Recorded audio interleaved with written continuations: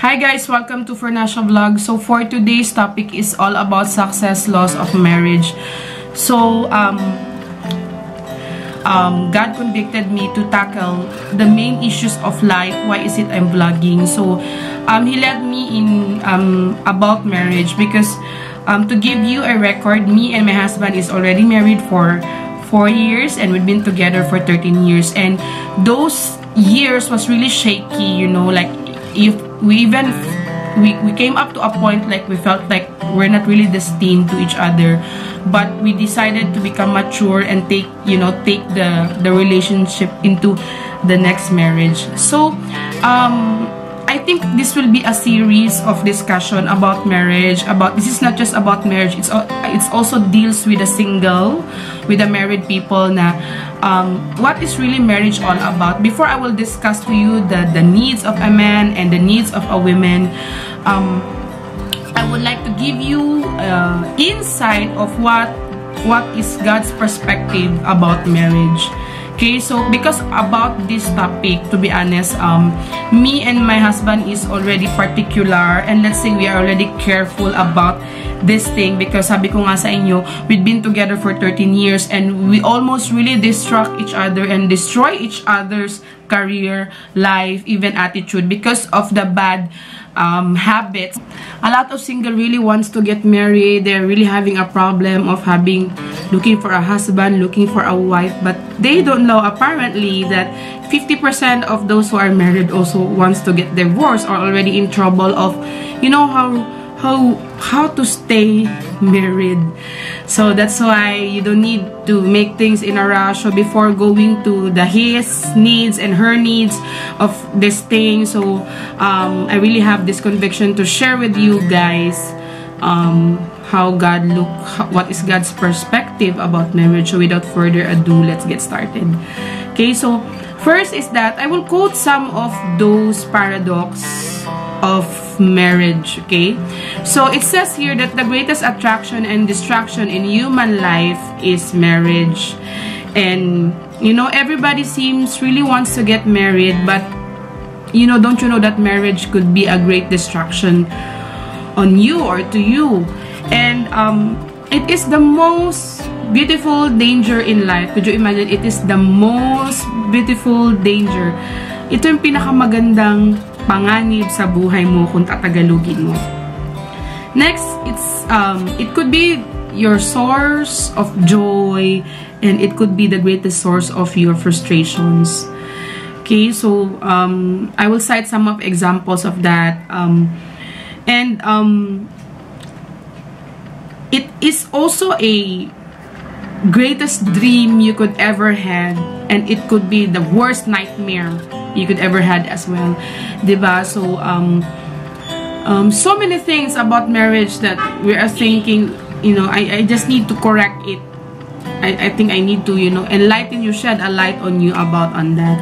And, um, actually, marriage is an option given by God. It is not really a mandatory.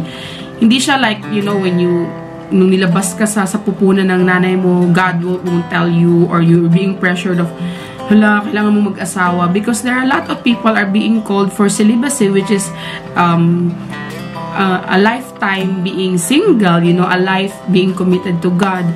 And um, actually, marriage is also, uh, uh, it is being produced by God. Si Lord ang gumawa ng marriage. Siya talaga yung nag-create ng marriage. And this is one of the wrong mindset as well of the single nowadays. No, They think like, um, it is not necessary to fulfill one's purpose for your life. So we are thinking like, you know, once you get married, only by that time you will serve your purpose in your life. It's a big no-no, guys. Hindi siya totoo. And, um, it can even enhance or destroy your destiny. So, um, a lot of people before they get married, you know, their their life seems to be so organized, so passionate. Um, the, it, it it seems like they are they are on track. It seems like their life is so uh, very decent. Pero after getting married, you know, you are being shocked na nasa na, nalosyang na si ano. Huy, ano, lalo na dito sa Pinas, we really love, you know, to chismis and make a chika na, huy, nasa na si ano, ganyan ang nangyari sa buhay niya. So, could you imagine, can you, can you weigh the balance of that? And especially nowadays, I mean, I am not against of those, you can see with the wedding, with the, you know, very promising setup, with the videographer, most expensive videographer, photographer, even the, you know, buffet and everything. But are you really prepared being married? And are you really sure that you are the right person or the person you married is the right one? Okay, so for the single, you don't need to spend all your life looking for someone to marry. And then you forget what God's will for your life. Because I tell you marriage won't really it's just in a in a piece of cake it's just one slice of your life. But of course it will give you a total great impact sa buhay mo. So, it is not something not to to deal with na parang ah, i-small mo lang siya. Pero hindi din siya pwedeng iti-take for granted mo. But hindi din pwede na parang you know lalo na sa mga ano na parang that will be the totality of your life. That is a big no no so, marriage is so dangerous it can derail you or destroy you so don't take it lightly. Okay, so I will quote this passage on Matthew 19 verse 10 to 12. It says, If this is the situation between a husband and and a wife, it is better not to marry. So, you know, um, when you are single, you are living like a princess sa bahay nyo, nasusunod ka pa when you're with your parents. But when you get married, it seems like you are already a princess in the dungeon na, na alam mo yung feeling mo na parang gumuho patuloy yung buhay mo, lalo patuloy na sira yung buhay mo when you are, you, your, your expectation about marriage is so high. Okay? Actually, the next most important decision in life, next to salvation, is the person you really want to marry with. Really. We are thinking that buying a house, you know, or buying a car, lalo na sa house, we're thinking like that is the most, you know, important decision in life. But, buying a house is very easy, but how about building a home on it, ba? Diba? Kumbaga, it's very easy to to have a house, but is your house a really a home? Ganon. ba? Diba? It's easy to build a house, but it's tough to build a home. And are you really ready for that kind of commitment? Okay? And a lot of people also that how smart they are before they get married, you know. But no matter how smart you are, marriage will get you. I mean, a lot of successful people na, you know, they're so intelligent and everything, but marriage can really suck into you and, you know, sap all your energy, right? So, marriage is such a beautiful idea. Only God could have thought of it, diba? Actually, I just realized when I was, you know, reading, because I'm reading a lot of books about marriage, and um, it says there that uh, God is the first author of love story. Even if you read in Genesis, guys, you read in Genesis, He's the one who created the love story of Adam and Eve.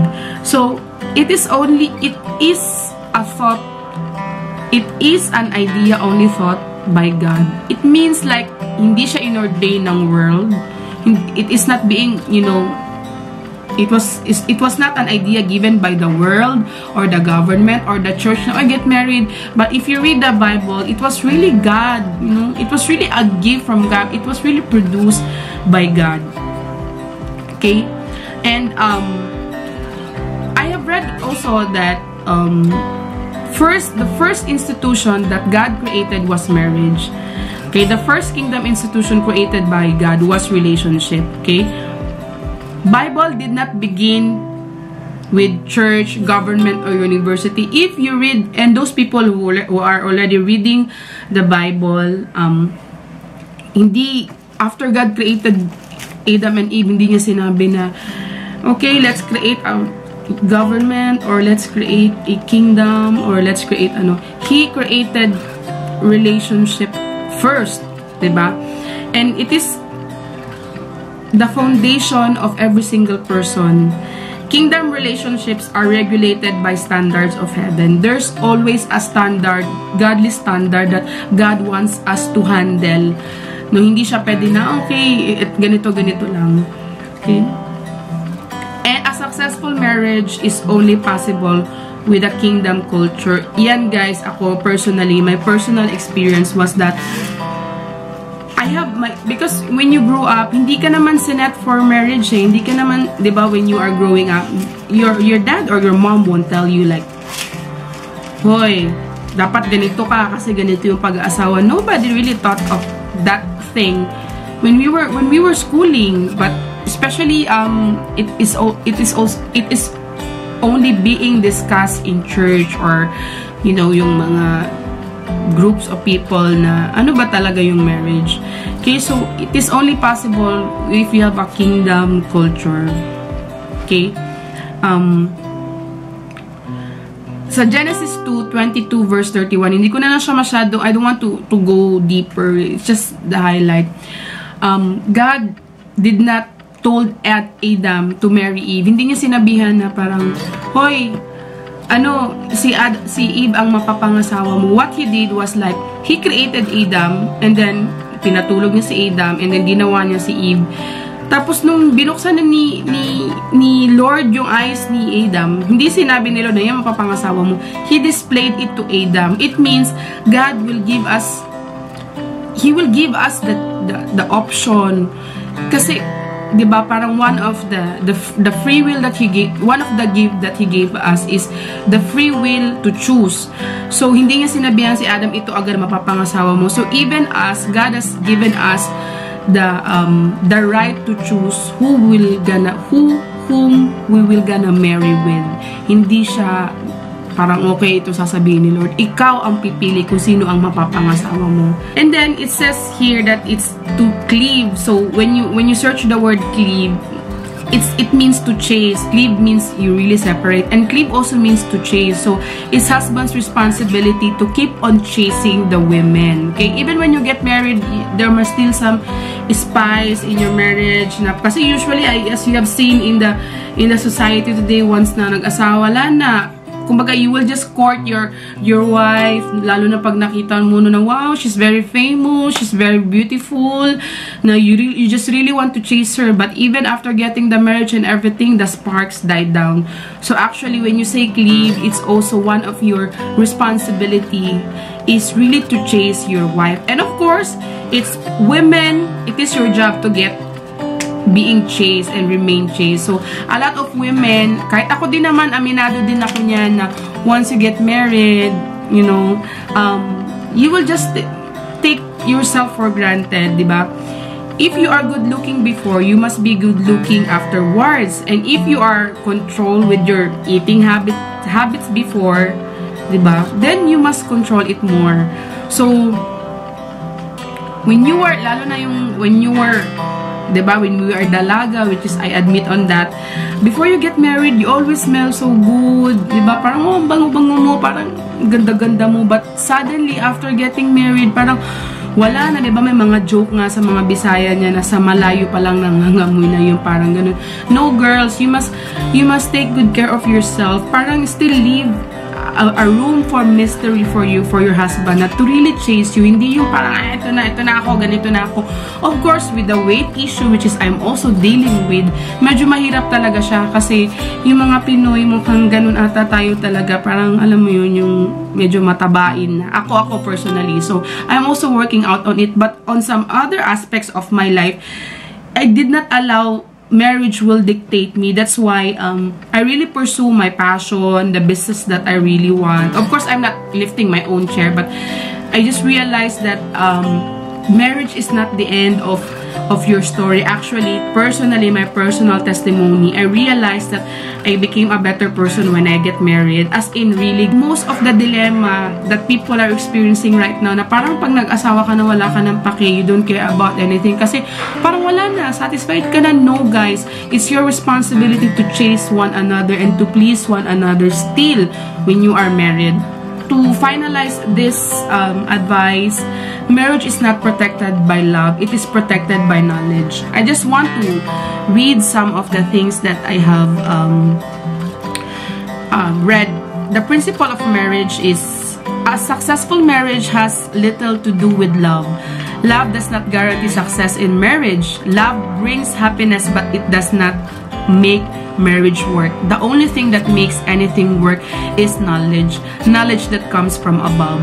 So, love di ba? Parang, because love is just a flickering, parang it's just a fickle of a feeling like, parang wow, you're just enjoying it, but actually, the lack of knowledge on how to handle things will really set you into destruction. So, the greatest source of knowledge is reading the Bible, really, and loving God above all. Because you must learn, you must um, know how to deal with your husband, to deal with your kids. So, knowledge na guys, hindi na love. As in, kumbaga, when you talk about love, especially when you are so emotional, it's so easy to love. But how about in the most unlovable situation of your husband when he is sick, when he's not doing well, when he don't have the job, when the kids are, you know, being pasaway and everything it's not all about love it's all about knowledge.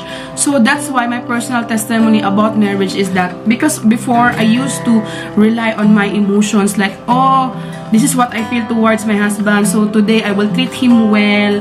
And the following day ah wala ako sa mood medyo hindi ko siya feel ngayon medyo medyo hindi siya gwapo ngayong araw na to so I will treat him badly. And I realized na that's not how marriage works so when I I really, you know, I intentionally um, educated myself to read the Bible and of course uh, read some books about marriage because I myself really want my marriage to work to work out because I already decided to marry that person. So it's not like you don't have the choice, but you are already there. So for you is how to really maintain and to really walk a lifetime journey with that person. So um By that time na when I repented, when I realized that it's not all about how you feel, but how you commit. So, um, how you gonna commit with that person, dun ko dun doon naging naging well and you know nag nagflow smoothly ang aming marriage because I already have the knowledge on how to to deal with my husband, how to deal with marriage, how to deal when problem comes, how to enjoy, how to diversify. So yun guys and everything has changed and I know it will be a lifetime process of you know um adjusting and balancing everything in and out but I could really say that um it really helped me a lot to make my life easier. Kasi nga parang, okay, hindi pala love, knowledge pala. So yun guys, um, yun na muna my topic for today. The next topic for this series is like, yun na, yung mga knowledge and I will share to you what is my personal experience about the, about my husband, how to deal with men, how to how to please them, how to please the wife, or how to please the husband, and even on the kids. So yun na muna guys, uh, for this moment, I hope you have picked up something and you have learned something. And I hope this video bless you. And if this bless you, um, please like or share or tag your friend who you think who needs this. Maybe they needed encouragement, especially in terms of relationships. So please tag them and please uh, subscribe on my YouTube channel for Nasha Vlogs or um, click like for my Facebook for my Facebook page. Till the next series, thank you so much guys for watching this Laws of Successful Marriage. Um, and I hope you will gonna wait and look forward for the coming videos for this series. Have a great day to you.